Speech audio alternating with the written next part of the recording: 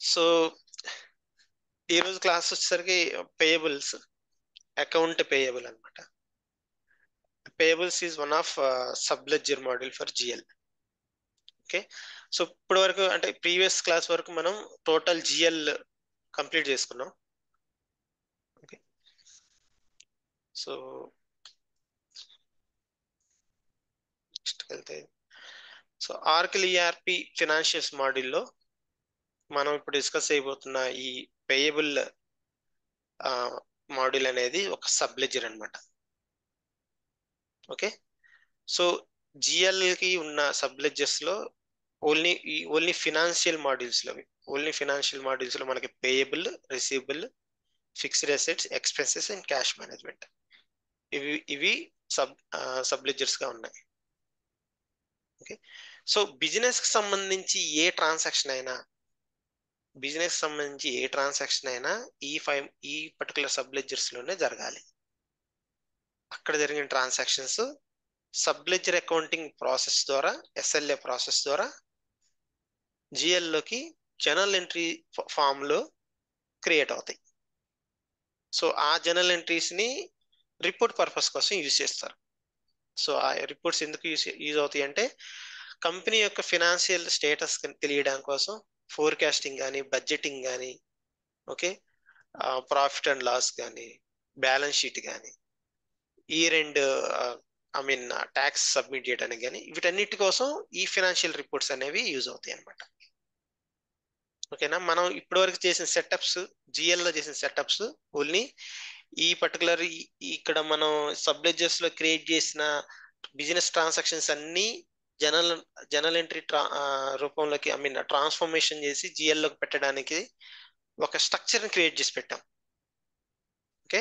ఒక పాత్ లాంటిది. అంటే ఏమంటారు? జిఎల్ స్ట్రింగ్ మనం చేసిన కాన్ఫిగరేషన్స్ మొత్తం వీటి కోసమే.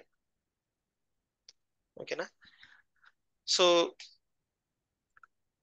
బిజినెస్ ట్రాన్సాక్షన్స్ అంటే టోటల్ బిజినెస్ ట్రాన్సాక్షన్స్ని త్రీ టైప్స్లోకి అనుకోవచ్చు. త్రీ త్రీ త్రీ టైప్స్కి డివైడ్ చేసుకోవచ్చు. అంటే ఒక బిజినెస్ ప్రాసెస్ లాగా. ఫస్ట్ ఏంటంటే invoice to cash process next procure to pay process asset to retirement process so main ఇవి అనమాట ఈ మూడు బిజినెస్ ట్రాన్సాక్షన్స్ మొత్తం ఈ మూడు ప్రాసెస్లోనే కంప్లీట్ అవుతాయి. ఓకేనా? మనం పర్టికులర్ ఇప్పుడు పర్టికులర్గా డిస్కస్ చేస్తుంది procure to procure to pay process so procure to pay process అంటే దీంట్లో రా మెటీరియల్ని పర్చేజ్ చేయటం దగ్గర నుండి ఆర్గనైజేషన్లో ఉన్న ఎంప్లాయీస్కి రీఎంబర్స్మెంట్ చేసేదాని కోసం తర్వాత ఎంప్లాయ్ అంటే ఐ మీన్ ఒక ఆర్గనైజేషన్లో ఒక ప్రొడక్టివిటీ కోసం మనం వాడే ఏమంటారు వాటిని? ప్లాంట్స్ కానీ మిషనరీ కానీ వీటన్నిటి కోసం ఒక్క నిమిషం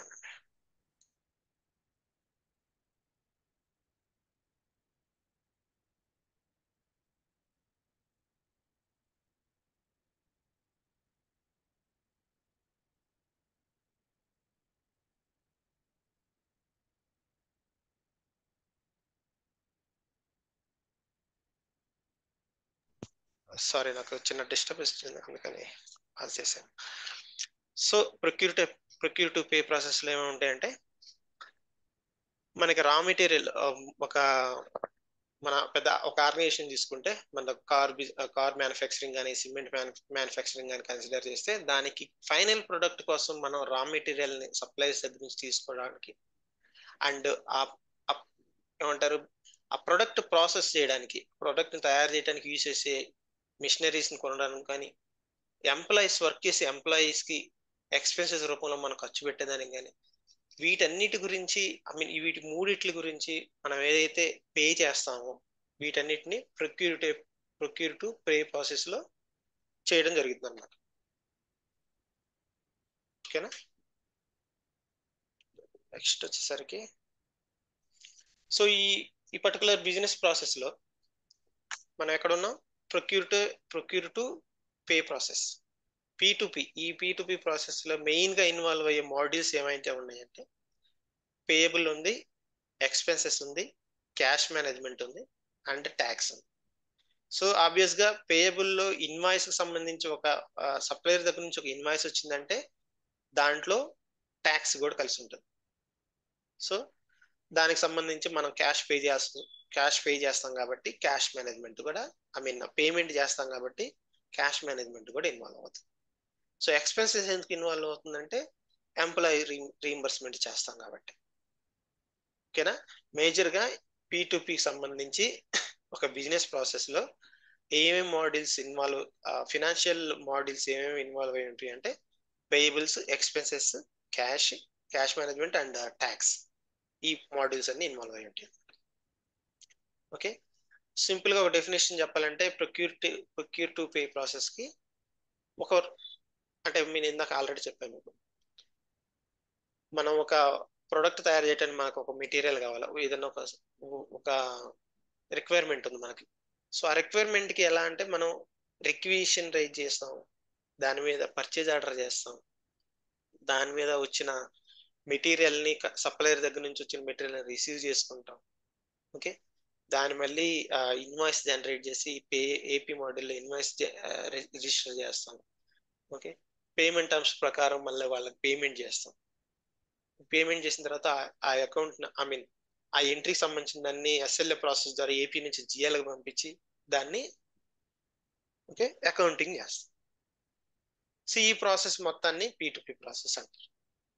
సో దీంట్లో రీఎంబర్స్మెంట్ కూడా కలిసి ఉంటాయి.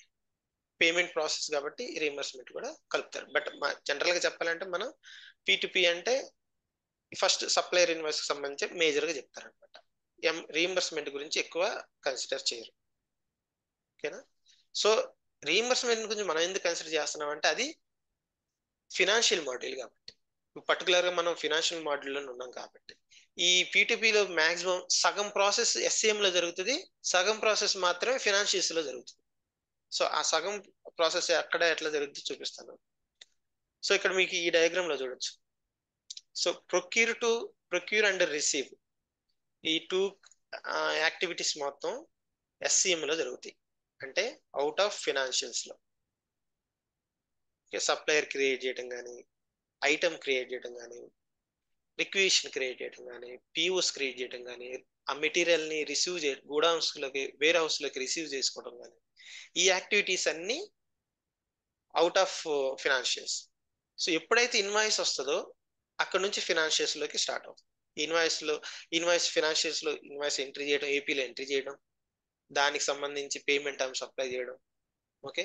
పీపీఆర్ ద్వారా పేమెంట్ ప్రాసెస్ చేయడం ప్రాసెస్ చేసిందని రికన్సిల్ చేయడం ఓకే? ఈ ప్రాసెస్లోనే మనకి ట్యాక్స్ ట్యాక్సెస్ కానీ తర్వాత ఎంప్లాయ్ ఆల్రెడీ సో ఈ ఎంప్లాయ్ సంబంధించి ఇతిన్ ఫినాన్షియల్స్ ఎందుకు పెట్టామంటే ఇది మన ఫినాన్షియల్ కింద వస్తుంది కాబట్టి ఎక్స్పెన్సెస్ మోడల్. ఓకేనా? అది సైకిల్ అనమాట పి బిజినెస్ ప్రాసెస్.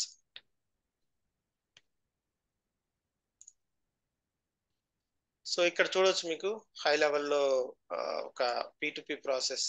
సప్లయర్ ఒక ఒక రా మెటీరియల్ కొన్నాము ఆ సప్లయర్ దగ్గర నుంచి ఆ సప్లయర్ పేమెంట్ చేసాం. సో ఇన్ని స్టేజెస్ దాటుకుంటూ వస్తుంది అనమాట సో ఫస్ట్ త్రీ స్టేజెస్ ఉన్నాయి చూసారా? Requisition purchase order okay? Receive receive and purchase order. ఈ త్రీ యాక్టివిటీస్ సంబంధించి మాత్రం ఎస్ఎల్ ఎస్సిఎం అంటారు. ఎస్సిఎంలో జరుగుతాయి ఈ మూడు. ఓకే? జనరల్గా గా ఎట్లా రైజ్ చేస్తారంటే మనకు ఒక రిక్వైర్మెంట్ ఉంది. ఆ రిక్వైర్మెంట్కి సంబంధించి మనం మనకి ఎంత మెటీరియల్ కావాలి ఏ మెటీరియల్ కావాలని చెప్పి ఒక కొటేషన్ రెడీ చేస్తాం. ఒక రిక్వేషన్ రెడీ చేస్తాం.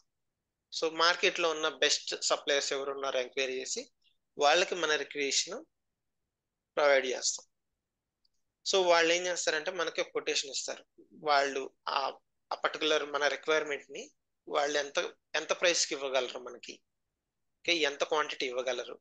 ఆ డీటెయిల్స్ అన్ని ఆ quantity I mean quantity and quality ఆ డీటెయిల్స్తో మనకు మనకి ఒక కొటేషన్ ఇవ్వడం జరుగుతుంది. సో మనకి ఫోర్ ఫైవ్ సప్లయర్స్ నుంచి వచ్చిన వాటిలో మనం ఏదో ఒకటి ఒకటి పిక్ చేసుకొని ది బెస్ట్ సెలెక్ట్ చేసుకొని దానికి సంబంధించి ఓకే మీ ప్రైస్ మాకు ఓకే అని చెప్పేసి ఆ ప్రైస్ మీద మనం పర్చేజ్ ఆర్డర్ చేయడం జరుగుతుంది. ఓకే? పర్చేజ్ ఆర్డర్ క్రియేట్ చేయడం అప్రూవ్ చేయడం అయిపోయిన తర్వాత ఇది సప్లయర్కి పంపిస్తాం పర్చేజ్ ఆర్డర్ ఈ పర్చేజ్ ఆర్డర్కి అగనిస్ట్గా ఆడేం చేస్తాడంటే మెటీరియల్ పంపిస్తాడు మనం సో ఆ పర్చేజ్ ఆర్డర్ బేస్ చేసుకునే మనం మెటీరియల్ని రిసీవ్ చేసుకుంటాం. మెటీరియల్ రిసీవ్ చేసుకున్నప్పుడు మనం పర్చేజ్ ఆర్డర్లో ఎంత క్వాంటిటీ పెట్టామో అంత క్వాంటిటీ వాడికి వాడి దగ్గర నుంచి మనకి డెలివరీ అయ్యిందా లేదా? ఎంత డెలివరీ ఒకవేళ ఎంత డెలివరీ అయితే అంత మాత్రమే మనం బుక్స్ ఏమంటారు రిసీట్ కింద ఎంట్రీ చేసుకోవడం జరుగుతుంది. అక్కడ అక్కడ ఏమన్నా డ్యామేజ్ కానీ ఏమైనా ఉంటే దానికి సంబంధించిన యాక్టివిటీస్ దానికి ఉంటాయి. ఓకేనా? సో ఇప్పుడు ఏమవుతుందంటే సేమ్ ఇదే సిచ్యువేషన్లో ఐ మీన్ ఎప్పుడైతే మెటీరియల్ మనకు వస్తుందో మనం హండ్రెడ్ క్వాంటిటీ అడిగాం వాడు ఫిఫ్టీ క్వాంటిటీ ఇచ్చాడు నేను నెక్స్ట్ ఇంకొక ఫిఫ్టీ క్వాంటిటీ ఇస్తాను నా దగ్గర ఇప్పుడు ఫిఫ్టీ క్వాంటిటీ ఉందన్నాడు. సో వాడు ఏం చేస్తాడు వచ్చేది ఆర్డర్ ఏమో హండ్రెడ్ క్వాంటిటీ తీసుకుంటాయి బట్ వాడు ఇన్వాయిస్ ఎంతకు తెస్తాడు? ఫిఫ్టీ క్వాంటిటీకి తెస్తాడు. మనకి డెలివరీ కూడా ఫిఫ్టీ క్వాంటిటీకే ఇస్తాడు. ఓకే? నెక్స్ట్ ఏం చేస్తాడు? ఇంకొక ఇన్వాయిస్ నెక్స్ట్ కొన్ని రోజుల తర్వాత మళ్ళీ ఇంకొక ఫిఫ్టీ క్వాంటిటీతో మళ్ళీ ఇంకొక ఇన్వాయిస్ తీసుకొస్తాడు ఇంకొక ఫిఫ్టీ క్వాంటిటీ తెస్తాడు. అప్పుడు ఏమవుద్ది ఈ టూ ఇన్వాయిసెస్ ఈ ఒక్క పర్చేజ్ ఆర్డర్కి అగనెస్ట్గా క్రియేట్ చేయడం జరుగుతుంది. Invoice one invoice two fifty quantity fifty quantity plus purchase order hundred క్వాంటిటీకి మ్యాచ్ చేయడం జరుగుతుంది. సో అది ఎస్సీఎంలో జరిగే యాక్టివిటీ సో ఇది అంతా అయిపోయిన తర్వాత మనకి ఎప్పుడైతే ఇన్వాయిస్లు ఓకే అవుతాయో ఇన్వాయిస్లు మనకి ఏపీ కి వస్తాయి. సో ఇక్కడ ఏం చేస్తామంటే? ఆ ఇన్వాయిస్ని రిజిస్టర్ చేస్తాం. ఇన్వాయిస్ని క్రియేట్ చేస్తాం. ఇన్వాయిస్ క్రియేట్ చేసి దీనికి సంబంధించి ఒక మనకి ఒక సప్లయర్తో ఒక అగ్రిమెంట్ ఉంటుంది. ఎప్పుడు పేమెంట్ చేయాలి ఎలా పేమెంట్ చేయాలి అని. సో దాని ప్రకారంగా వాడికి పేమెంట్ చేయడానికి దానికి ముందు మనకి ఒక వ్యాలిడేషన్స్ జరుగుతాయి. మ్యాచింగ్ ఇన్వాయిస్ నుంచి పర్చేజ్ ఆర్డర్ ఇందాక చెప్పాను కదా మీకు ఫిఫ్టీ ఫిఫ్టీ క్వాంటిటీ వచ్చినాయి. సో ఆయన రెండు ఇన్వాయిస్లకి పర్చేజ్ ఆర్డర్ దీంతో మ్యాచ్ చేయాలి అని చెప్పి. సో మ్యాచ్ చేసిన తర్వాత జీరో అయిపోయి ఓకే అయితే వ్యాలిడేషన్ క్లియర్ అయితేనే ఆ పర్టికులర్ ఇన్వాయిస్ అనేది పేమెంట్ కోసం రెడీ అవుతుంది. ఓకేనా సప్లయర్స్ పేమెంట్ అయిపోయిన తర్వాత అది క్లియర్ అయిపోద్ది.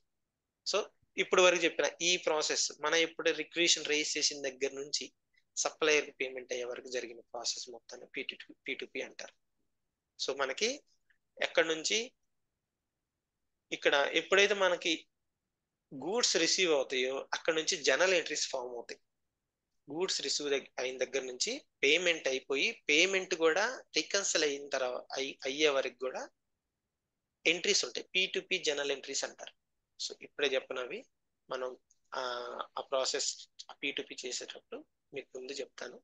సో అవి అందరు కంపల్సరీగా P general entries OTC general entries కంపల్సరీగా నేర్చుకోవాలి. ఓకేనా?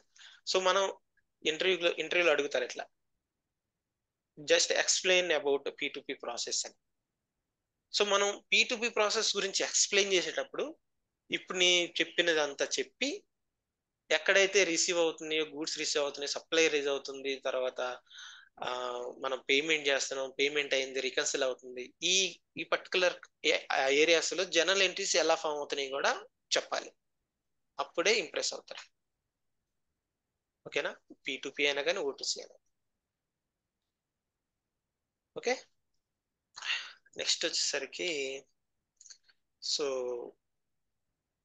భారత్ వస్తుంది సో డిపార్ట్మెంట్స్. ఈ ఈ పర్టికులర్ డయాగ్రామ్లో చూడొచ్చు మీకు. ఈ టోటల్ పీ టు పీ ప్రాసెస్లో ఏ డిపార్ట్మెంట్స్ ఎక్కడెక్కడ ఇన్వాల్వ్ అవుతున్నాయి? మీకు ఆల్రెడీ ఇందాక చెప్పాను. రిక్వియేషన్కి మ్యానుఫ్యాక్చరింగ్ డిపార్ట్మెంట్ ఇన్వాల్వ్ అవుతుంది ఇన్వాల్వ్ అవుతుంది. ఓకే రిక్వియేషన్ రేస్ చేయడానికి పర్చేజ్ ఆర్డర్ రేస్ చేయడానికి తర్వాత ఆ మెటీరియల్ రిసీవ్ చేసుకోవడానికి సంబంధించి పర్చేజింగ్ డిపార్ట్మెంట్ ఇన్వాల్వ్ అవుతుంది. ఓకే రిసీవ్ అయిన దాన్ని వేరే హౌస్లో పెట్టడానికి వేరే హౌసింగ్ డిపార్ట్మెంట్ సో ఫైనల్గా ఇప్పుడు ఫినాన్స్ ఎప్పుడు ఇక్కడ ఇన్వాల్వ్ అవుతుందంటే ఇన్వాయిస్ దగ్గర పేమెంట్ దగ్గర. సో ఒక్కోసారి మనకి ఈ అసెట్ అడిషన్ ఎందుకు వస్తుందంటే రా మెటీరియల్ కాదు. మనం ఏ ఏ పర్టికులర్ అసెట్ కొన్నా కానీ అది ఇలానే ఇదే ప్రాసెస్లో వస్తుంది. ఓకే? ఆ ఎసెట్ ఒకవేళ మనం కొన్న ఒక మెటీరియల్ అది ఎసెట్ కింద ఉందనుకో దాన్ని ఎసెట్ కింద కన్వర్ట్ చేస్తాం అక్కడ ఇన్వాయిస్ దగ్గర. సో అదేమవుతుంది? మాస్ అడిషన్స్ కింద అసెట్స్ కింద ఇది ఏ ఎఫ్ఏ మాడ్యూల్లోకి వెళ్ళిపోద్ది. అర్థమైందా? పేబిల్లో ఉన్న నార్మల్ ఇన్వాయిస్ని మనం ఎఫ్ఏకి సంబంధించిన ఇన్వాయిస్ కూడా కన్వర్ట్ చేయొచ్చు ఇక్కడ. సో అది నేను ఎఫ్ఏ మాడ్యూల్ వచ్చినప్పుడు క్లియర్గా చెప్తాను. ఇప్పుడు ఎక్కువ కన్ఫ్యూజ్ చేయదలుచుకోలేదు సో ఇక్కడ మనం ఇన్వాయిస్ రావడం దానికి పేమెంట్ చేయడం తర్వాత క్యాష్ క్యాష్ మేనేజ్మెంట్లో రికన్సిల్ చేయడం. సిస్టమ్ ఎంట్రీతో అండ్ బ్యాంక్ ఎంట్రీతో రికన్సిల్ చేయడం. So finance module I mean finance డిపార్ట్మెంట్లో జరిగే యాక్టివిటీస్ అవి. ఓకే? సో మీకు ఇందాక చెప్పిన ఎక్స్పెన్సెస్ కూడా మన AP I mean sorry financials మాడ్యూల్స్లో ఉంది కాబట్టి ఎక్స్పెన్సెస్ కూడా మనం పీటీపీ కింద కన్సిడర్ చేస్తాము.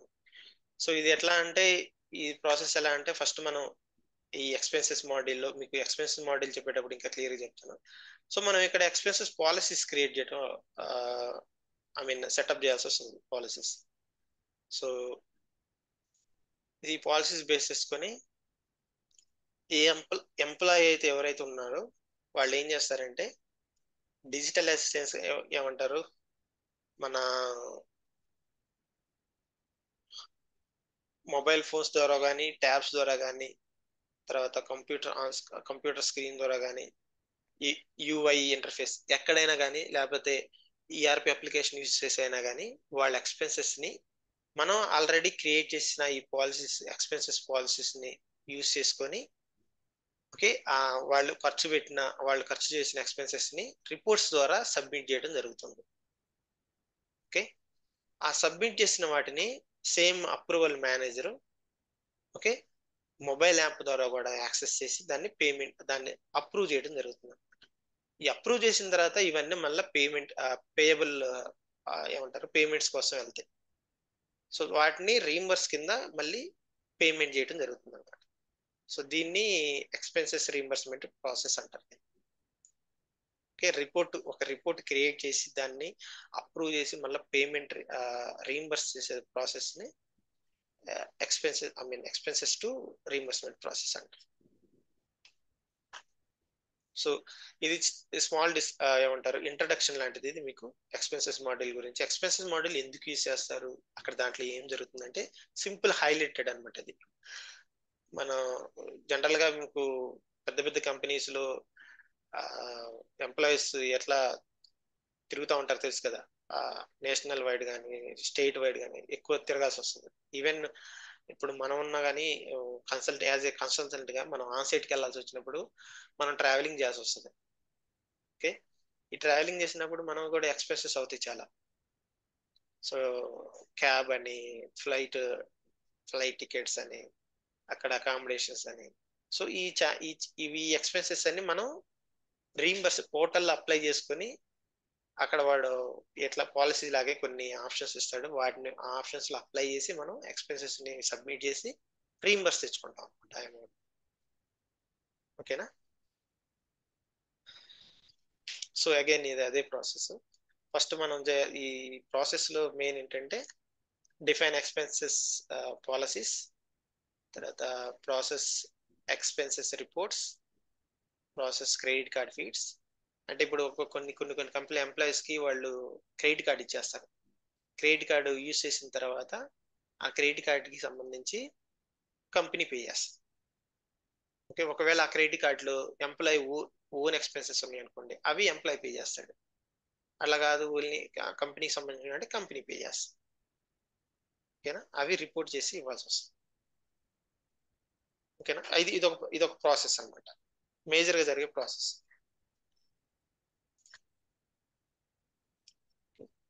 నెక్స్ట్ వచ్చేసరికి మనకి కాంపోనెంట్స్ ఉన్నాయి మెయిన్గా. సో ఇప్పుడు వరకు చెప్పింది అయితే జస్ట్ బ్రీఫ్ పేయబుల్కి సంబంధించి బ్రీఫ్ ఒక చిన్న ఇంట్రడక్షన్ సో ఇప్పుడు మనం మెయిన్ కాంపోనెంట్స్ ఉన్నాయి. మీకు జిఎల్లో చెప్పినట్టు ఒక కీ కాంపోనెంట్స్ కొన్ని ఉన్నాయి చెప్పాను మీకు.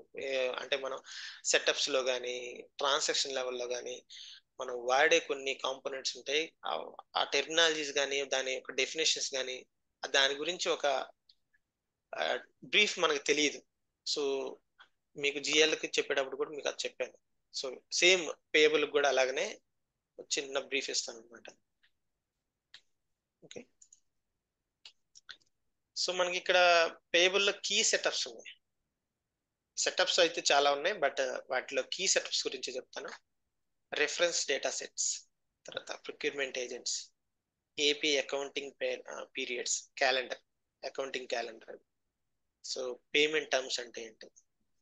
సో ఈ ఈ ఫోర్ గురించి ఎక్కువ ఈ ఫోర్ గురించి చెప్తాను కాన్సన్ట్రేట్గా ఇవి మామూలుగా సెటప్స్ అనమాట మనం కోడ్ కాంబినేషన్స్ కొన్ని ఎనేబుల్స్ దీని గురించి పెద్దగా అంటే ఐ మీన్ ఎక్స్ప్లెనేషన్ ఏమి ఉండదు. ఇన్వాయిస్కి సంబంధించి మేనేజ్ ఇన్వాయిస్ ఆప్షన్స్ ఉందనుకోండి. ఇన్వాయిస్కి సంబంధించి మనం అక్కడ చేసే ఫీచర్కి సంబంధించి ఇక్కడ ఎనేబుల్ చేసుకుంటాం ఈ ఈ సెటప్లో. పేమెంట్కి సంబంధించిన వాడిని ఇక్కడ ఎనేబుల్ చేసుకుంటాం. సో కామన్ ఆప్షన్స్ ఉంటాయి. పేయబుల్కి సంబంధించి ప్రొక్యూర్మెంట్కి సంబంధించి డిఫరెంట్ డిఫరెంట్ మాడ్యూల్ సంబంధించి కామన్ ఆప్షన్స్ సెటప్ చేయాల్సి వస్తుంది. ఓకే ఇవి ఈ కామన్ అన్నమాట ఈ మూడు. ఈ మూడిట్లో పర్టికులర్గా ఒక దాని గురించి అని కాదు. ఇన్వాయిస్ లెవెల్లో పేమెంట్ లెవెల్లో కామన్ ఆప్షన్స్లో అట్లా ఉంటాయి అన్నమాట సో పర్టికులర్ ఈ ఫోర్ గురించి అయితే డిస్కస్ చేద్దాం. Reference data sets procurement agent AP accounting periods and payment terms ఓకేనా so reference data sets so మనం బిజినెస్ యూనిట్ క్రియేట్ చేస్తాం. ఇప్పుడు జిఎల్ ఎండింగ్లో చివరి అక్కడ మనం చేసిందో ఏదంటే బిజినెస్ యూనిట్ క్రియేట్ చేయడమే సో మీరు ఎవరైనా అబ్జర్వ్ చేశారా? బిజినెస్ యూనిట్ క్రియేట్ చేసేటప్పుడు నేను సెట్ ఒకటి సెలెక్ట్ చేసుకుందాం కామన్ అని. ఓకే? సో యాక్చువల్గా మనం అదేంటంటే కామన్ అక్కడ సెట్ అనేది ఈ reference data set. So reference data set అంటే ఎట్లా అంటే ఇప్పుడు మనకు ఎంటర్ప్రైజ్ ఉంది. ఐ మీన్ ఒక ఆర్గనైజేషన్ లెవెల్లో ఒక ఏదైనా ఒక కండిషన్. ఒక అది ఎంప్లాయీకి సంబంధించిన కండిషన్ కానీ లేకపోతే మనం మనం ఇప్పుడు ఏపీ మోడల్ గురించి మాట్లాడుకుంటున్నాం. మనకు పేమెంట్ అమౌంట్ ఉంది. ఆ పేమెంట్ టర్మ్ సంబంధించి కానీ ఒక కండిషన్ పెట్టుకున్నాము. అది మనం ఎంటైర్ ఆర్గనైజేషన్ మొత్తానికి అది అప్లై అవ్వాలనుకుంటున్నాం అదొక అదొక సినారియో. అట్లా కాదు. నాకు ఆ పర్టికులర్ ఆర్గనైజేషన్లో నాకు ఒక పది బిజినెస్ యూనిట్లు ఉన్నాయి. ఒక్కొక్క బిజినెస్ యూనిట్కి ఒక్కొక్క కండిషన్ అప్లై అవ్వాలి. ఒక సరే ఒక టూ బిజినెస్ యూనిట్స్ ఉన్నాయి. వా టూ బిజినెస్ యూనిట్స్కి సేమ్ కండిషన్ అప్లై అవ్వాలి. బట్ మిగతా వాటికి ఆ కండిషన్ అప్లై అవ్వకూడదు. సో ఇలాంటి కండిషన్స్ అనమాట సో దీనికోసం కొత్తగా ఆర్కిల్ ఐ మీన్ ఆర్కిల్ ఫ్యూజన్లో వచ్చిన ఫీచర్ ఏంటంటే రిఫరెన్స్ డేటా సెట్స్ అనమాట సో ఇక్కడ మీకు చూడొచ్చు. ఈ రిఫరెన్స్ డేటా సెట్స్ అనేది ఎక్కడెక్కడ యూస్ యూస్ చేసుకుంటారంటే హెచ్సిఎంలో main హెచ్సిఎంలో grades locations departments and jobs. ఇవన్నీ వర్క్ స్ట్రక్చర్స్లో అనమాట మీకు ఐడియా ఉంది హెచ్సిఎం వర్క్ స్ట్రక్చర్స్ ఎవరికైనా ఐడియా ఉందా? సో హెచ్సిఎం వర్క్ స్ట్రక్చర్స్లో గ్రేడ్స్ లొకేషన్స్ డిపార్ట్మెంట్స్ అండ్ జాబ్స్లో ఈ రిఫరెన్స్ డేటా సెట్స్ని యూస్ఫుల్ అవుతాయి. అండ్ మనకు వచ్చేసరికి ఇక్కడ ఫినాన్షియల్కి వచ్చేసరికి tax classifications AP and AR so AP and ఏఆర్లో మెయిన్గా పేమెంట్ టర్మ్ ఈ పేమెంట్ టర్మ్ సంబంధించి reference data set use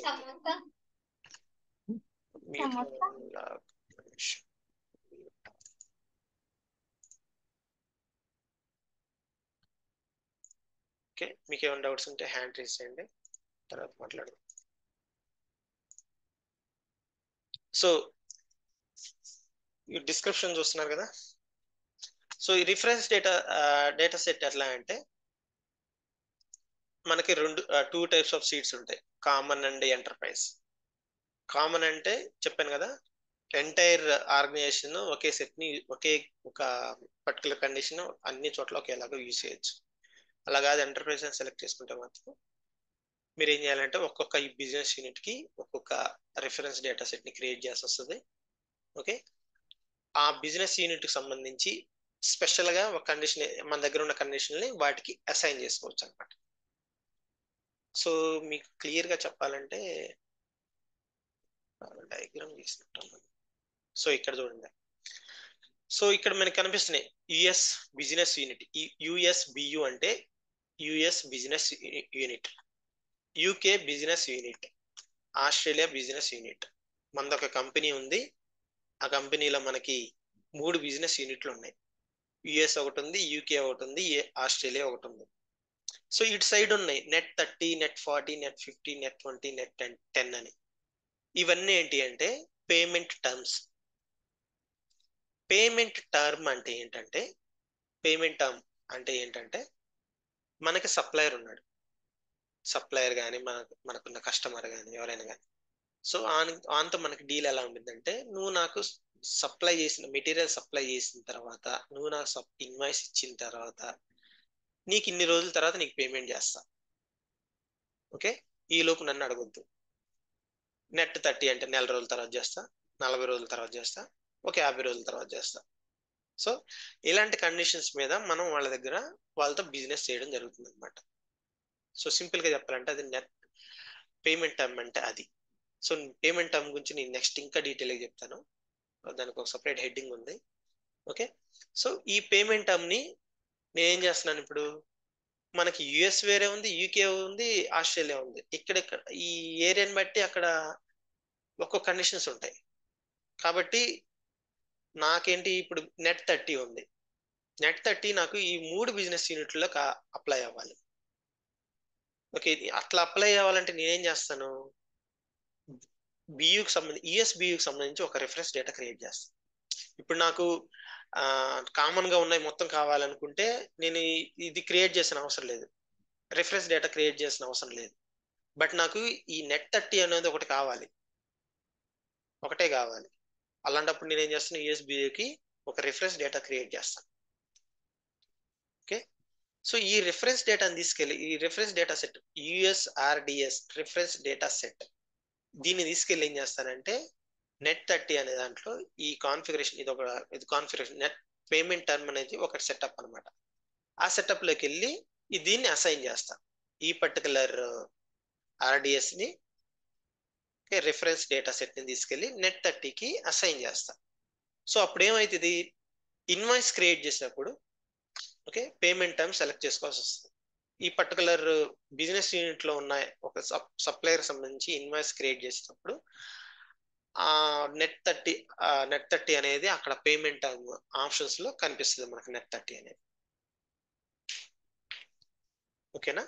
so అలా దాంతో పాటు నాకు నెట్ టెన్ కూడా కావాలి. సో సేమ్ నెట్ టెన్లో కాన్ఫిగరేషన్లోకి వెళ్ళి ఈ యుఎస్ఆర్డిఎస్ని దీన్ని తీసుకెళ్ళి దీనికి ఎక్కడ అసైన్ చేస్తా. సో అప్పుడు నేను ఈ యుఎస్బియులో సంబంధించి ఒక సప్లయర్కి నేను ఇన్వాయిస్ క్రియేట్ చేసేటప్పుడు నాకు నెట్ థర్టీ నెట్ టెన్ రెండు కనిపిస్తాయి. సో ఇక్కడ మీకు యారో మార్క్స్ కనిపిస్తున్నాయి. ఈ పర్టికులర్ బిజినెస్ యూనిట్స్కి నాకు నెట్ థర్టీ కావాలి అంటే నేనేం చేయాలి? ఒక ఆర్డిఎస్ క్రియేట్ చేసి దాన్ని తీసుకెళ్ళి నెట్ థర్టీకి అసైన్ చేసుకోవాలి. అర్థమైందా? ఇక్కడ ఏమైనా డౌట్స్ ఉన్నాయా మీకు? ఇది చాలా ఇంపార్టెంట్ అయితే మనం ఈ రెఫరెన్స్ డేటా సెట్ని యూస్ చేసుకోవచ్చా? యూస్ చేసుకోకూడదని అది కూడా ఆప్షనల్ మనం ఇనిషియల్గా ఏమంటారు మనం నేర్చుకున్న టైంలో అయితే అవసరం లేదు. జనరల్గా చాలా మంది కామన్ అని పెట్టేసి చెప్పేస్తారు చాలా చోట్ల. బట్ ఇది ఇంటర్వ్యూస్లో ఎక్కువ ఈ మధ్య ఆర్కిల్ ప్రోడక్ట్ సంబంధించి ఆయన ఉన్నారా? మన మూర్తి గారు? సార్. సో ఆర్కిల్ సంబంధించి ఒక ప్రొడక్ట్ ఇష్యూ కూడా వచ్చింది దీనికి సంబంధించి. సో దీనికి సంబంధించి కొంచెం ఇంపార్టెంట్ మనకి ఎక్కువ నేర్చుకోవాల్సి వస్తుంది. సో మనం సెటప్స్లో కూడా ఆర్డిఎస్ వాడదాం. ఓకేనా? సో దీనికి సంబంధించి ఎవరికైనా డౌట్ ఉంటే అడగండి చెప్తాను.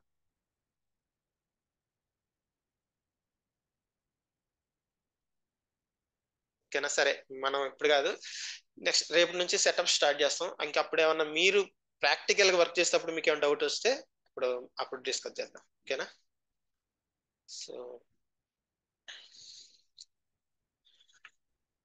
so next next item వచ్చేసరికి ప్రొక్యూర్మెంట్ ఏజెంట్ సో ఈ ప్రొక్యూర్మెంట్ ఏజెంట్ వల్ల ఈ యాక్సెస్ వల్ల యూజ్ ఏంటంటే ఇది మోర్ ఓవర్ ఇది ఎక్కడ ఉపయోగపడుతుందంటే ఒక ఎస్సిఎం మోడల్లో ఉపయోగపడుతుంది ప్రొక్యూర్మెంట్ ఏజెంట్ అనేది. ఈ ప్రొక్యూర్మెంట్ ఏజెంట్స్ ద్వారా ఏమవుతుంది? ఈయనకి ప్రొక్యూర్మెంట్ బిజినెస్ యూనిట్కి యాక్సెస్ వస్తుంది. ఓకే? తర్వాత మనం ఇందాక మాట్లాడుకున్నాం రిక్విజిషన్స్కి. రిక్విజిషన్స్ కానీ పర్చేజ్ ఆర్డర్స్ కానీ బీపీ అండ్ సిపిఏ అంటారు. Blanket purchase agreements and contract purchase agreements అంటారు.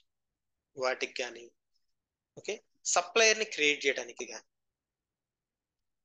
సప్లయర్ని క్రియేట్ చేయడానికి కానీ సప్లైని అప్రూవ్ చేయడం కానీ సప్లయర్ని వ్యూ చేయడానికి కానీ ఈ ప్రొక్యూర్మెంట్ ఏజెంట్ యాక్సెస్ అంటే దాని మీద ఒక రూల్ లాంటిది. ఈ ఇది మన యూజర్కి అవసరం అనమాట సో ఇది మనకి ఏపీకి అవసరమా అంటే మనం ఒక ఇన్వాయిస్ క్రియేట్ చేయాలి సప్లైస్ కావాలి అనుకుంటే మాత్రం కావాలి. దీన్ని కూడా నేను ప్రొక్యూర్మెంట్ ఏజెంట్ ఎలా క్రియేట్ చేయాలో చూపిస్తాను. సో ప్రొక్యూర్మెంట్ ఏజెంట్ యొక్క ఇంపార్టెన్స్ అదనమాట. మనకి మెయిన్గా పీటుపీలో మనం ఫుల్ సైకిల్ చేయాలనుకుంటే మాత్రం ఈ ప్రొక్యూర్మెంట్ ఏజెంట్ కావాల్సి వస్తుంది. రిక్రియేషన్ క్రియేట్ చేయడానికి పర్చేజ్ ఆర్డర్ క్రియేట్ చేయడానికి తర్వాత దాని మీద ఇన్వాయిస్ క్రియేట్ చేయడానికి. అసలు ముందు పర్చేజ్ ఆర్డర్ క్రియేట్ చేయాలంటే సప్లయర్ క్రియేట్ చేయాలి. దానికి తోడు మళ్ళీ ఇంకొక ఐటమ్ క్రియేట్ చేయాలి. ఐటమ్ క్రియేట్ చేయడానికి కూడా కావాలి. ఎస్సిఎం ఎస్సిఎం సెటప్స్ అవన్నీ. సో ప్రొక్యూర్మెంట్ సెటప్స్ మీకు చెప్తాను నేను. ఈ ఎస్- ఈ మిడిల్ ఆఫ్ ఏపీ సెటప్స్లో మనకి ప్రొక్యూర్మెంట్ సెటప్స్ ఎక్కడ అవసరం అయితే చెప్తాను సో పీటీపీ అప్పుడు మనం ఆ ప్రొక్యూర్మెంట్ సెటప్స్ చేస్తాం. సో ప్రజెంట్ అయితే ఏపీకి సంబంధించి ప్రొక్యూర్మెంట్ సెటప్స్ అవసరం ఉండదు అనుకుంటున్నాను. తర్వాత సో ప్రొక్యూర్మెంట్ ఏజెంట్ అదే. తర్వాత అకౌంటింగ్ ఏపీ అకౌంటింగ్ క్యాలెండర్ మనం జిఎల్కి క్రియేట్ చేసిన క్యాలెండర్లోనే మీరు జిఎల్ డాష్ బోర్డ్లో చూసినప్పుడు పైన జిఎల్ ఉండింది కింద ఇంకా ఫోర్ ఉంటాయి. ఏపీఆర్ ఎఫ్ఏ ప్రాజెక్ట్స్ అని. సో ఆ ఏపీఆర్ సంబంధించిన క్యాలెండర్ అదే క్యాలెండర్ ఇక్కడ రిపీట్ అవుతుంది.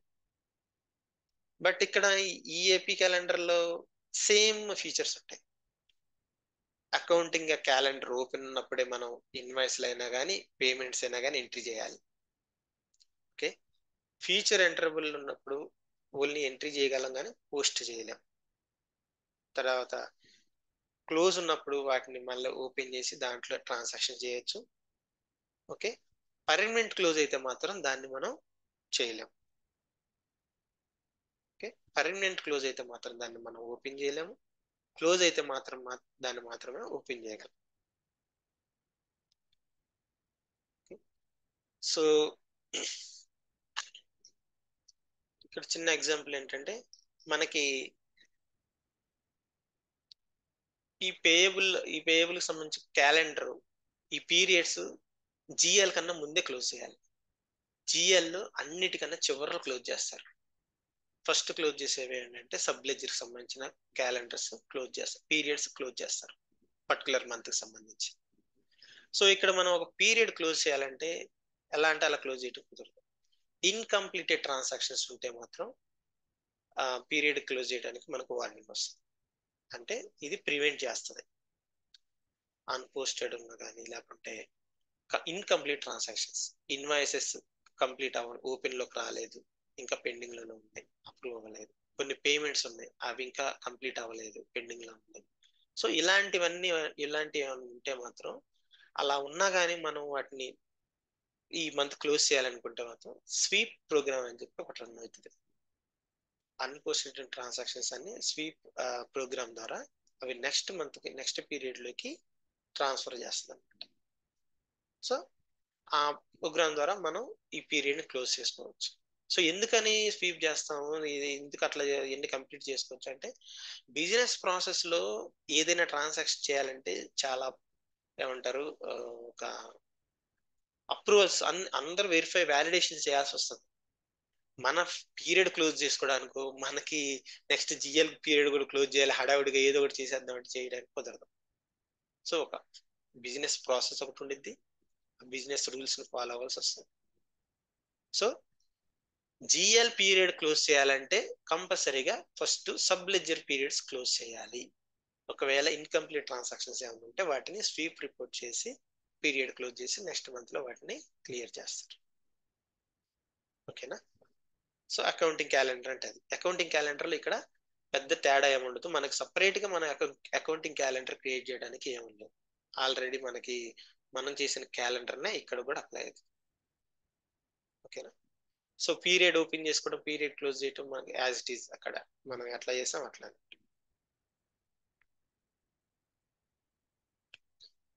సో ఇప్పుడు మనం పేమెంట్ టర్మ్ గురించి మాట్లాడుకుందాం.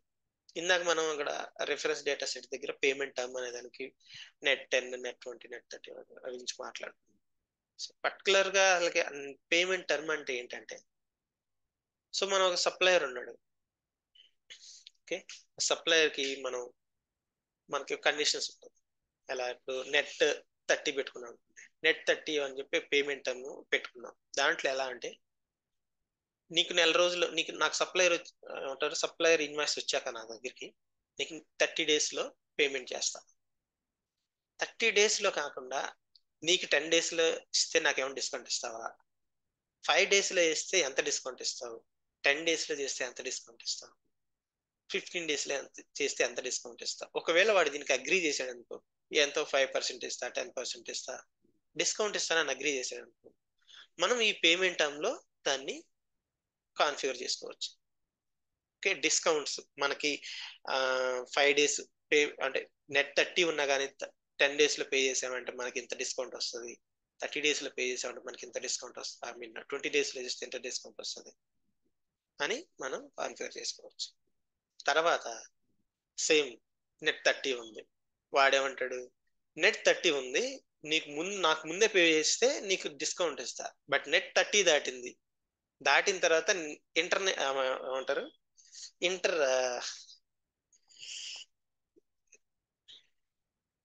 charges. Okay? Interest charges వేస్తారంటాడు. So మన డిస్కౌంట్కి మనం ఎలా అడుగుతున్నామో వాడి ఇంట్రెస్ట్ కూడా అలాగే అడుగుతాం సో దా ఆ కండిషన్స్ కూడా అప్లై చేసుకుంటాం. నెట్ థర్టీ థర్టీ దాటిందంటే ఎన్ని డేస్కి ఎన్ని దాటి ఎంత దాటితే మనం అంత ఇంట్రెస్ట్ వాడికి పే చేయాల్సి వస్తుంది. సో ఈ కండిషన్స్ అన్ని మనం ఈ పేమెంట్ టర్మ్స్లో పెట్టుకుంటాం. ఎందుకు ఈ పేమెంట్ టర్మ్స్ ఎందుకు పెట్టుకుంటాము? దీనివల్ల యూజ్ ఏంటంటే మనకి నంబర్ ఆఫ్ సప్లైర్స్ ఉంటారు. హండ్రెడ్ సప్లయర్స్ ఎక్కువ మంత్లో సంబంధించి ప్రతి సప్లయర్ని వీడికి వీడికి ఎన్ని రోజులు ఉన్నాయి ఎప్పుడు పే చేయాలి చేసామా లేదా ఇవన్నీ వాలిడేషన్ చేయడం అనేది బల్క్ జరిగిన జరగని పని. సో ఈ పేమెంట్ అనేది ఇలా పెట్టుకున్నాం అనుకోండి మనం ఎప్పుడు రిపోర్ట్ చేసుకున్నా కానీ ఏజింగ్ లాగా ఓకే నెక్స్ట్ టెన్ డేస్లో వీళ్ళకి పేమెంట్ ఉన్నాయి నెక్స్ట్ టెన్ ఫిఫ్టీన్ డేస్లో వీళ్ళకి పేమెంట్ ఉందని చెప్పి మనకి ఒక క్లియర్ రిపోర్ట్ వస్తుంది. దాన్ని యూస్ చేసుకొని మనం పేమెంట్ చేయడం జరుగుతుంది. ఈవెన్ మనకి పీపీఆర్ కూడా ఉంది. నెక్స్ట్ చెప్తా PPR payment request process okay so ఈ పేమెంట్ టర్మ్ ద్వారా ఇది వెళ్ళి పీపీఆర్కి టెంప్లెట్లో యాడ్ చేసుకొని మనం ప్రాసెస్ చేయడం జరుగుతుంది. ఓకేనా పేమెంట్ టర్మ్ అంటే అది. సో జనరల్గా ఇప్పుడు మీకు అన్ని ఇన్స్టిట్యూట్లో చెప్పేటప్పుడు ఇట్లా ఎలా చెప్తారంటే ఆర్డిఎస్ బిజినెస్ యూనిట్ క్రియేట్ చేసినట్టు కామన్ సెలెక్ట్ చేస్తారు. RDS reference data set create చేసుకోవాల్సిన పని లేదు వదిలేయండి. తర్వాత వచ్చేసరికి పేమెంట్ టర్మ్ ఉంది దీంట్లోకి వచ్చేసరికి ఇమ్మీడియట్ పేమెంట్ అని ఉంటుంది ఇమ్మీడియట్ పెట్టేయండి మీరు ఇక్కడ ఏ పేమెంట్ టర్మ్ వాడాల్సిన పని లేదు. ఓకే? సో ఏంటంటే అది సింపుల్ అనమాట కామన్ పెట్టేసుకొని ఇమ్మీడియట్ పేమెంట్ పెట్టేసుకొని వెళ్ళిపోతే ఈజీగా అయిపోద్ది పని. బట్ ఇదేంటంటే కొంచెం డెప్త్కి వెళ్తే రియల్ టైంలోకి వెళ్తే రియల్ టైంలో ఎక్కడ ఇమీడియట్ ప్రాసెస్ పెట్టుకోవటాలు తర్వాత కామన్ పెట్టుకోవటాలు ఉండవు. రియల్ టైం మనం ఒక కస్టమర్కి ఇంప్లిమెంట్ చేసామంటే కంపల్సరీగా ఆర్డిఎస్లు ఉంటాయి. ఓకే పేమెంట్ టర్మ్స్ ఉంటాయి. పేమెంట్ టర్మ్స్ ఒకటి కాదు. ఆ పేమెంట్ పేమెంట్ టర్మ్స్ వాటి చెప్తే కానీ మనకు అర్థం కాదు. అంత డిఫికల్ట్గా ఉంటాయి ఒక్కొక్క పేమెంట్ టర్మ్స్ ఓకే వాటిని జాగ్రత్తగా కాన్ఫిగర్ చేయాల్సి వస్తుంది. మన సింపుల్గా ఆల్రెడీ కొన్ని బిల్ట్ ఇన్ ఉంటాయి సిస్టమ్లో వాటిని యూజ్ చేసుకోవచ్చు అనమాట ఓకేనా? సో పేమెంట్ టర్మ్ అంటే అది. సో అవి మెయిన్ కీ సెటప్స్ అనమాట అవి. సో నెక్స్ట్ వచ్చేసరికి కీ ఫంక్షనాలిటీస్ ఉన్నాయి సో కీ ఫంక్షనాలిటీస్లో మెయిన్ ఏంటంటే సప్లయర్ ఇన్వాయిస్ సప్లయర్ ఇన్వాయిస్ మనకి త్రీ వేస్లో రిసీవ్ చేసుకోవడానికి అవకాశం. ఎలక్ట్రానికల్లీ అంటే త్రూ ఈమెయిల్ ద్వారా ఫ్యాక్స్ ద్వారా ఏదైనా కానీ ఒక ఎలక్ట్రానిక్ డివైస్ ద్వారా మనకి ఒక ఇన్వాయిస్ రిసీవ్ అయిందంటే అలా కూడా రిసీవ్ అవుతుంది. సో మాన్యువల్గా మనకి ఎప్పుడైతే వాడు మెటీరియల్ పర్చేజ్ ఆర్డర్ అగైనెస్ట్గా మనకి మెటీరియల్ డెలివరీ చేయడానికి వస్తాడో ఆ ట్రక్తో పాటు ఇన్వాయిస్ పట్టుకొని వస్తాడు వాడు.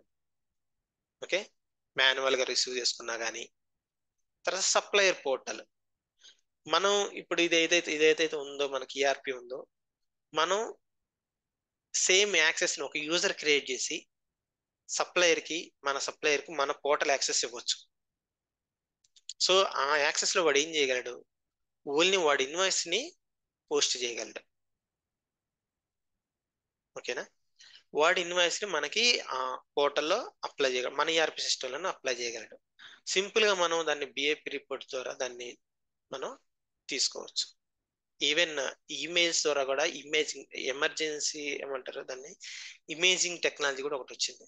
జస్ట్ వాళ్ళు పెట్టిన పీడిఎఫ్ డాక్యుమెంట్ని మనం ఇన్వాయిస్గా క్యాప్చర్ చేసుకోవచ్చు ఈఆర్పీలో జస్ట్ ఈమెయిల్ వచ్చిన వాటిని క్యాప్చర్ చేసుకొని మన బిఏపి ద్వారా తీసుకోవచ్చు దాన్ని. ఓకేనా? సో ఇన్ని రకాలుగా మనం ఇన్వాయిస్ క్లియర్ తీసుకోవచ్చు సో ఇన్వాయిస్లో మనకి జనరల్ ఎంట్రీలో ఉన్న కాంపోనెంట్స్ చెప్పాం. త్రీ కాంపోనెంట్స్ ఉంటాయి general header general batch general header general line అని చెప్పి ఒక త్రీ కాంపోనెంట్స్ ఉంటాయి అని చెప్పి చెప్పాం.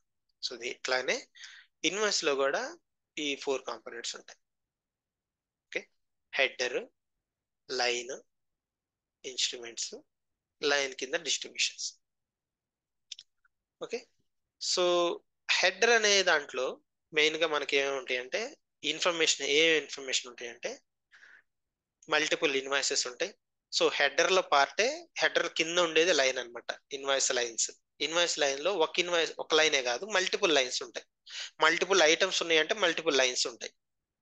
ఓకే ఒక ఇన్వాయిస్లో మనకి ఒక ఐటమ్ ఉంటే ఒక లైనే ఉంటుంది. అదే మల్టిపుల్ ఐటమ్స్ ఉన్నాయి అనుకోండి మల్టిపుల్ లైన్స్ ఉంటాయి. అలా. సో ఇన్వాయిస్ నంబర్ ఉంటుంది. హెడర్ హెడర్లోనే ఇన్వాయిస్ నంబర్ కనిపిస్తుంది మనకి. ఓకేనా? తర్వాత ఇన్వాయిస్ అమౌంట్ ఉంటుంది. సప్లయర్ డీటెయిల్స్ ఉంటాయి. సప్లయర్ నేమ్ ఏంటి? సప్లయర్ సైట్ అడ్రస్ ఏంటి? ఓకే వాడి కాంటాక్ట్ ఈమెయిల్ కానీ ఫోన్ నెంబర్ అలాంటి డీటెయిల్స్ మనం హెడర్ ఇన్ఫర్మేషన్లో చూడొచ్చు. ఓకేనా? లైన్కి వచ్చేసరికి లైన్ ఒక లైన్ పర్టికులర్ లైన్లో ఏమేమి చూడొచ్చు మనం అంటే ఐటమ్ సంబంధించిన డీటెయిల్స్ చూడొచ్చు. ఓకేనా? ఆ ట్రాన్సాక్షన్ సంబంధించి ట్యాక్స్ డీటెయిల్స్. అంటే మనకి ఇప్పుడు జనరల్గా ఒక ఐటమ్ ఉందనుకోండి మనకి హండ్రెడ్ రూపీస్ అంటాడు. హండ్రెడ్ రూపీస్ అంటే మనకు ప్రొడక్ట్ హండ్రెడ్ రూపీస్ అంటే అది ఇంక్లూజివ్ ట్యాక్స్ మన ఇన్వాయిస్ మీదకి వెళ్తే ఏమవుతుంది అది? Ninety rupees product charges rate పడుతుంది. ఆ టెన్ రూపీస్ కింద ట్యాక్స్ కిందకు వస్తుంది. సో ఆ ట్యాక్స్ ఎంత అనేది డివైడ్ చేసి ఇక్కడ మనం ఈ లైన్ లెవెల్లో చూడగలం. ఓకేనా? సో దీంతో పాటు ఈ లైన్ లెవెల్లోనే ఇది ఎసెట్కి సంబంధించిందా? ఇప్పుడు మనం ఒక సపోజ్ మన కంప్యూటర్ కొన్నాం. కంప్యూటర్ సంబంధించిన ఇన్వాయిస్ వచ్చింది. లేకపోతే ప్లాంట్ అండ్ మిషనరీకి సంబంధించిన ఇన్వాయిస్ వచ్చింది. సో ఇది ఎసెట్కి సంబంధించింది. ఓకే ఎసెట్కి సంబంధించి ఎనేబుల్ అయిందా అంటే ఇది ఎసెట్కి సంబంధించింది. ఎసెట్స్ సంబంధించి ఎనేబుల్ కాలేదంటే ఇది అసెట్స్ కాదు. ఒకవేళ అసెట్స్ అయితే మాత్రం ఈ లైన్ లెవెల్లోనే మనం ఐడెంటిఫై చేయడానికి అవకాశం ఉందని చెప్తాం. తర్వాత మనకి ఈ ప్రాజెక్ట్స్ కానీ పర్చేసింగ్ కానీ ప్రాజెక్ట్స్ అంటే మనకి పీపీఎం సంబంధించి ప్రాజెక్ట్ ప్రాజెక్ట్స్ దాని రిలేటెడ్ ఇన్వాయిస్ అయితే మాత్రం దాని డీటెయిల్స్ కూడా మనం ఇక్కడ చూడొచ్చు. Project number task number project task ఆ డీటెయిల్స్ కూడా మనకి ఇక్కడ కనిపిస్తాయి అన్నమాట. సో తర్వాత ఆర్కిల్ ఫ్యూజన్ పర్చేజెస్ పర్చేసింగ్ అంటే purchase order. Purchase order number requisition number ఈ డీటెయిల్స్ మనకి ఇన్వాయిస్ లైన్ లెవెల్లోనే కనిపిస్తాయి. ఒకవేళ ఈ ఇన్వాయిస్ పర్చేజ్ ఆర్డర్కి అగనెస్ట్గా ఇన్వాయిస్ క్రియేట్ అయ్యింది అంటే మనకి ఆడ పర్చేజ్ ఆర్డర్ నెంబర్ రెఫరెన్స్గా కనిపిస్తూ ఉంటుంది ఓకేనా? సో డిస్ట్రిబ్యూషన్ కాంపోనెంట్లు ఏముంటాయి అంటే అకౌంటింగ్ డేట్ అకౌంటింగ్ డేట్ అంటే ఏంటంటే ఆ ఇన్వాయిస్ మీద ఉన్న డేట్ మనం క్రియేట్ చేసిన డేట్ కాదు. అకౌంటింగ్ డేట్కి క్రియేషన్ డేట్కి తేడా ఏంటంటే అకౌంటింగ్ డేట్ అంటే ఆ పర్టికులర్ ట్రాన్సాక్షన్ ఎప్పుడు జరిగిందంటే అప్పుడు అప్పుడు దాన్ని అకౌంటింగ్ డేట్ అంటారు. క్రియేషన్ డేట్ అంటే మనం ఎప్పుడు దాన్ని క్రియేట్ చేస్తే అది క్రియేషన్ డేట్ అకౌంటింగ్ డేట్కి క్రియేషన్ డేట్కి తేడా ఓకే డిస్ట్రిబ్యూషన్ కాంబినేషన్ స్ట్రింగ్ ఉంది కదా? మనం ఈ ఇన్వాయిస్ ఆప్షన్స్ అనే ఒకటి సెటప్ చెప్పాను ఇందాక మీకు. ఆ ఇన్వాయిస్ ఆప్షన్స్ తర్వాత పేమెంట్ ఆప్షన్స్ చేస్తాం. ఆ ఇన్వాయిస్ ఆప్షన్లో మనం ఈ కోడ్ కాంబినేషన్స్ ముందుగానే ఫిక్స్ చేస్తాం. ఓకే? ఆ కోడ్ కాంబినేషన్స్ మనం ఈ డిస్ట్రిబ్యూషన్లో చూడొచ్చు. సో తర్వాత ప్రాజెక్ట్ ఇన్ఫర్మేషన్ ఉండేది మళ్ళీ ఇక్కడ ఇన్స్టాల్మెంట్స్. సో మీకు ఇందాక చెప్పాను కదా పేమెంట్ టైంకి సంబంధించి ఇన్స్టాల్మెంట్స్ సో డ్యూ డేట్స్ ఏమి ఉన్నాయి? డ్యూ అమౌంట్స్ కానీ డ్యూ డేట్స్ కానీ డిస్కౌంట్స్ కానీ డిస్కౌంట్ డేట్స్ మీకు ఇందాక చెప్పే కదా. థర్టీ నెట్ థర్టీ ఉంది కానీ ఫైవ్ డేస్కి పే పేమెంట్ చేస్తే నేను ఇంత డిస్కౌంట్ ఇస్తానని. సో ఆ డిస్కౌంట్ డేట్స్ ఏ ఉంటాయి? పేమెంట్ మెథడ్ ఏంటి? చెక్ ఇస్తావా? క్యాష్ ఇస్తావా? లేకపోతే ఈఎఫ్టీ చేస్తావా? ఈ ఎట్లాంటి పేమెంట్ మెథడ్స్ అనేవి? అన్ని డీటెయిల్స్ మనకి ఇన్స్టాల్మెంట్స్లో కనిపిస్తాయి. ఓకేనా? సో ఇప్పుడు నేను చెప్పిన ఈ ఇన్వాయిస్కి సంబంధించిన డీటెయిల్స్ అన్ని మీకు కంపల్సరీగా గుర్తుండాలి. రేపు మనం ప్రాక్టీస్ చేసేటప్పుడు అది చూడగానే మీకు ఈజీగా అర్థం అవ్వాలి. ఇన్వాయిస్ ఇన్వాయిస్కి సంబంధించి ఎన్ని కాంపోనెంట్స్ ఉంటాయి. మనకు ఒక డీటెయిల్ కావాలి అంటే వెంటనే మనకు ట్రిగర్ అవ్వాలి. నేను పేమెంట్ టర్మ్స్ పేమెంట్ మెథడ్ చూడాలి. పేమెంట్ మెథడ్ చూడాలంటే ఎక్కడ కనపడితే ఇన్వాయిస్ మొత్తం ఎత్తుక్కోకూడదు. ఓకేనా? డైరెక్ట్గా పర్టికులర్ లైన్లోకి కాంపోనెంట్లోకి వెళ్ళిపోవాలి డిస్ట్రిబ్యూషన్లోకి వెళ్ళిపోవాలి చూసుకోవాలి. అట్లా ఒక గ్రిప్ వచ్చేస్తుంది అనమాట ఈ కాంపోనెంట్స్ ముందుగానే మీకు ఒక ఐడియా వస్తాయి. ఓకేనా? So next payment process request. So ఈ పేమెంట్ ప్రాసెస్ రిక్వెస్ట్ అంటే ఏంటంటే ఇది ఒక టెంప్లెట్ ప్రాసెస్ అనమాట సో మనకి నంబర్ ఆఫ్ ఎంప్లాయీస్ ఎక్కువ మంది ఉంటారు. తర్వాత ఈ టర్మ్స్ కూడా పేమెంట్ టర్మ్స్ కూడా ఎక్కువ ఉంటాయి. వీటన్నిటిని మనం పేమెంట్ ఒక్కొక్కరికి ఒక్కోసారి చేయడం అంటే కుదరదు. పేమెంట్ టైం అంటే ఈ రోజు ఈ టైం వచ్చింది కాబట్టి వీటికి పేమెంట్ చేస్తారు రేపు అడుగు చేస్తారు అట్లా చేయటం పెద్ద ఆర్గనైజేషన్లో కుదరని పని. ఒక పేమెంట్ సైకిల్ ఒకసారి రన్ చేస్తారు. ఓకే? పేమెంట్ ప్రాసెస్ రిక్వెస్ట్ ఈ పేమెంట్ ప్రాసెస్ అన్ని ఒక సైకిల్ ఒక స్కెడ్యూల్ రన్ చేస్తారు. సో ఈ స్కెడ్యూల్లో ఏమవుతాయి? మనం ముందుగానే క్రైటీరియస్ క్రైటీరియస్ uh, పెట్టుకుంటాం. సో పేమెంట్ టర్మ్స్ బేస్ చేసుకొని payment profile payment process profile అని ఉంటుంది సో దాన్ని బేస్ చేసుకొని మనం కొన్ని క్రైటీరియాస్ సెట్ చేస్తాం. ఈ ఈ పర్టికులర్ క్రైటీరియాస్ మ్యాచ్ అయ్యే వాళ్ళని పేమెంట్ ప్రాసెస్ కింద తీసుకోవాలి. ఓకేనా?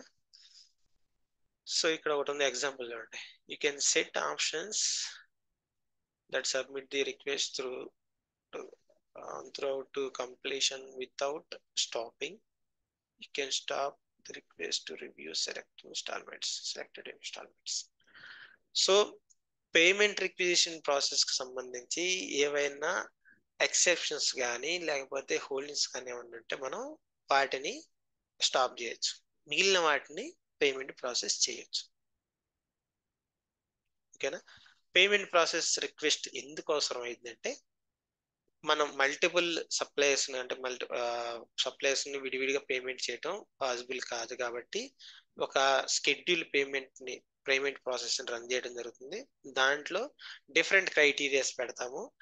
Irres irrespective of supplier okay? అన్ని ఇన్వాయిసెస్ని దాన్ని తీసుకొని అన్ని ఇన్వాయిసెస్ని ఏదైతే ఆ క్రైటీరియా కింద వస్తాయో వాటిని పేమెంట్ కిందకి పేమెంట్ ప్రాసెస్కి సెలెక్ట్ చేయడం జరుగుతుంది అనమాట సో ఆ వ్యాలిడేషన్ ఎలా అంటే దానికి సంబంధించి ఏమన్నా హోల్డింగ్స్ కానీ లేకపోతే ఎక్సెప్షన్స్ ఉంటే మాత్రం వాటికి పేమెంట్ అవ్వదు. మిగతా వాటికి పేమెంట్ ప్రాసెస్ అవుతారు. So so invoice tolerance invoice tolerances ఉంటాయి. సో సింపుల్గా చెప్పాలంటే మీకు డిస్క్రిప్షన్ కనబడుతుంది మీరు చదువుకోండి. నేను నేను చదవలేదు దాన్ని ఇప్పుడు.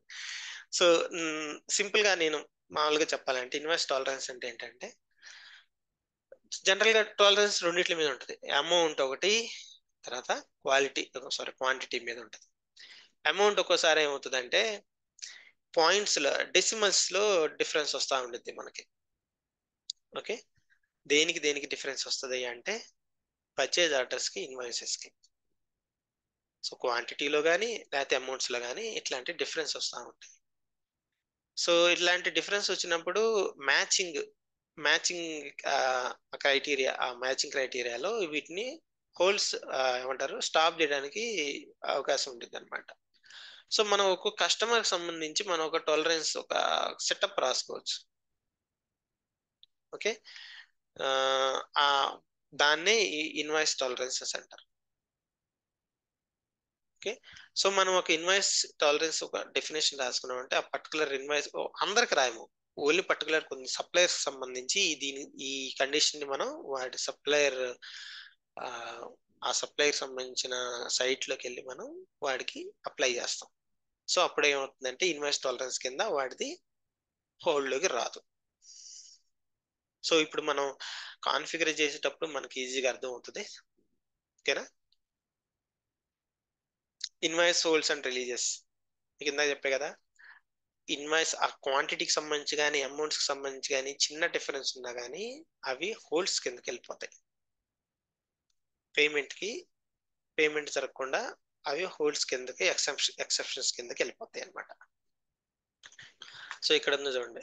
Accounts payable cloud offers automated invoice checking and holding application based on exception and exception conditions and notifies users through role-based data data boards, dashboards, and uh, infolets. Okay so మనకి ఈ హోల్స్ అండ్ రిలీజ్ సంబంధించి invoices uh, దాంట్లో ఒక ఇన్ఫోలెట్ కూడా ఉంటుంది. So holes ఎన్ని ఉన్నాయి అని చెప్పి ఆడ నంబర్ చూపిస్తా ఉండేది ఆ నంబర్ మీద క్లిక్ చేసామంటే మనకి ఆ హోల్స్ ఉన్నాయన్నీ పెండింగ్లో ఉన్నాయని లిస్ట్ అవుట్ లిస్ట్ అవుట్ వస్తాయి అనమాట వాటిని మనం సో మాన్యువల్గా చేయొచ్చు ఆటోమేటెడ్గా కూడా వాటిని ఎక్సెప్షన్ మనం రిలీజ్ చేయొచ్చు అనమాట. జనరల్గా ఎన్ని ఎన్ని టైప్స్ ఆఫ్ హోల్డ్స్ ఉంటాయి అని చెప్పి ఇక్కడ నేను ఒక చిన్న డయాగ్రామ్లో పెట్టాను. ఇన్వాయిస్ హోల్డ్స్ ఒకటి ఇన్స్టాల్మెంట్స్ హోల్డ్స్ ఒకటి సప్లయర్ సైజ్ హోల్డ్స్ ఒకటి తర్వాత సిస్టమ్ హోల్డ్స్ ఒకటి. సో ఇన్వాయిస్కి సంబంధించి ఇవి మనం చెప్పాం కదా క్వాంటిటీ కానీ రేట్ కానీ ఆ చిన్న డిఫరెన్స్ ఉన్నా కానీ యూజర్ ఐడెంటిఫై చేసినా కానీ హోల్డ్స్ కింద మనం చేంజ్ చేయొచ్చు దాని ప్రాసెస్ చేయకుండా. ఓకే ఇన్స్టాల్మెంట్స్ సో పిఓ పిఓకి సంబంధించిన దాంట్లో కండిషన్స్కి ఇన్వాయిస్లో సంబంధించిన కండిషన్స్కి డిఫరెన్స్ ఉందనుకోండి అది కూడా ఒక రీజన్ ఇన్స్టాల్మెంట్స్ హోల్డ్ కింద దాన్ని కూడా హోల్డ్ చేయొచ్చు. సప్లయర్ సైట్ మనకి ఈ ఏమంటారు? ఈ సప్లయర్ సైట్ డీటెయిల్స్ కూడా కరెక్ట్గా లేవు అనుకోండి దానికి సంబంధించి కూడా హోల్డ్స్ ఉంటాయి. సిస్టమ్ హోల్డ్స్ సో ఇవి హోల్స్ టైప్ ఆఫ్ హోల్స్ అనమాట holds and hold release holds options మాన్యువల్గా చేయొచ్చు. ఆటోమేటికల్గా కూడా మనం వాల్యుయేషన్ ప్రాసెస్ రన్ చేయొచ్చు. ఓకే సో మెయిన్గా మనకి ఈ ఏపీ మోడల్కు కావాల్సిన రూల్స్ ఏంటి అంటే account payable manager supervisor specialist. తర్వాత ఇన్వాయిస్ సంబంధించి invoice supervisor payment supervisor. So కింద బయ్యర్ ఉంది కదా బయ్యర్ ఏంటంటే సప్లయర్ క్రియేట్ చేయడానికి supplier manager. Supplier manager and buyer. Buyer nothing but ఈ ప్రొక్యూర్మెంట్ ఏజెంట్ ఉంది చూసారా? దానికి సంబంధించి బయర్ అనే రూల్ని ఇవ్వడం జరుగుతుంది ఓకేనా? సో ఇది ఈరోజు డిస్కషన్. సో ఇప్పుడు మీకు చెప్పండి మీకు ఇంకేది ఇంట్లో ఏమన్నా క్వెరీస్ ఏమన్నా ఉంటే దాని గురించి ఒకసారి డిస్కస్ చేసేసి ఈరోజు క్లోజ్ చేద్దాం.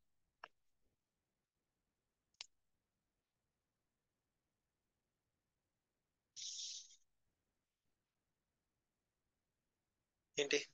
ఉన్నారా అందరూ? పర్లేదు అన్మ్యూట్ చేసి చెప్పండి. సిక్స్ ఫోర్ థర్టీ అంటే నో డౌట్స్ అంటే క్లోజ్ చేద్దాం.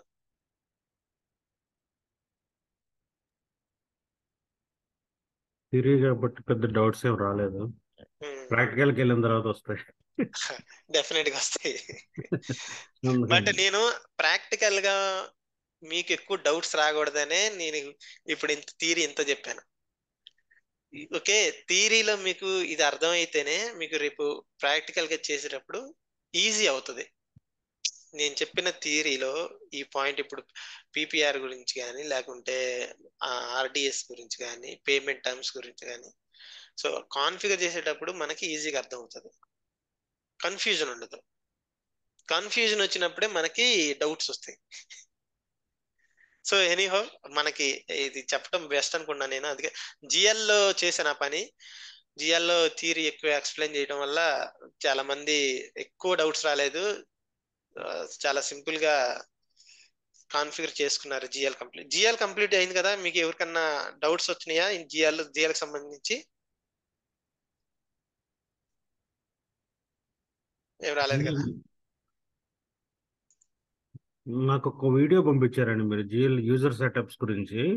హలో. చెప్పండి. స్ట్రక్చర్ క్రియేట్ చేసిన తర్వాత ఇన్స్టెన్స్